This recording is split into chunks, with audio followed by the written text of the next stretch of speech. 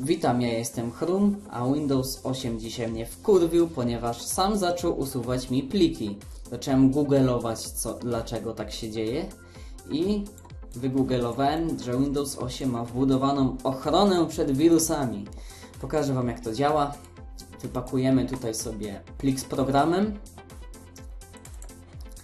i podczas próby uruchomienia aktywatora Wyskoczyło, że plik zawiera niczym groźnego wirusa, który uszkodzi mój komputer. Ach, ach. Ale co jest? Windows usunął mi ten aktywator, noż i idzie się wkurwić. Ale mam na to radę, spokojnie. Trzeba kliknąć Start, mm, wpisać Defender, uruchomić ten niby program kliknąć ustawienia, ochrona w czasie rzeczywistym i wyłączyć ją w piździec, zapisz zmiany.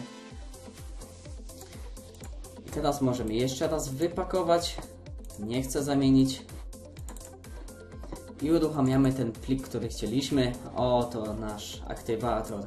Już Windows nie będzie nam niczego usuwał, więc to chciałem Wam zademonstrować w tym oto filmie. Jest godzina prawie pierwsza w nocy, a ja kręcę poradnik. Czy jestem nienormalny? Nie. Na pewno.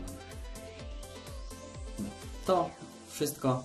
Dzięki za obejrzenie. Myślę, że pomogłem. Jeśli pomogłem, łapka w górę i sub. Dzięki, na razinki.